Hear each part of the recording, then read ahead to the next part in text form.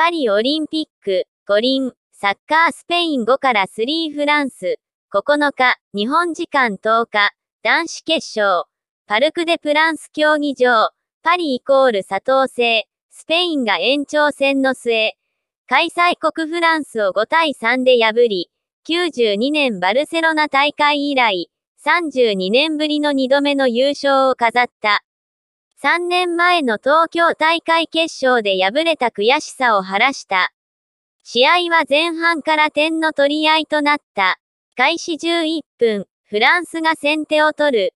MF ミロ、22が右サイドで相手のクリアミスを拾うと、左足を振って先制点奪った。パスワークが自慢のスペインがすぐにやり返す。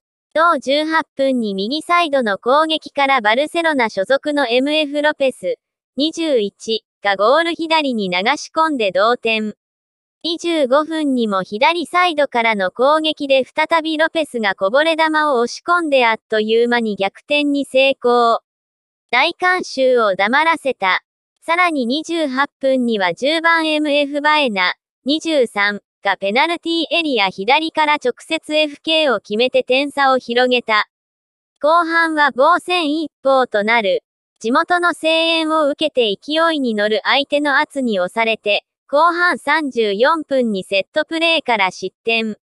試合終了間際に CK の場面で VAR が介入し、PK を奪われた。これを沈められて土壇場で追いつかれ、延長戦に突入した。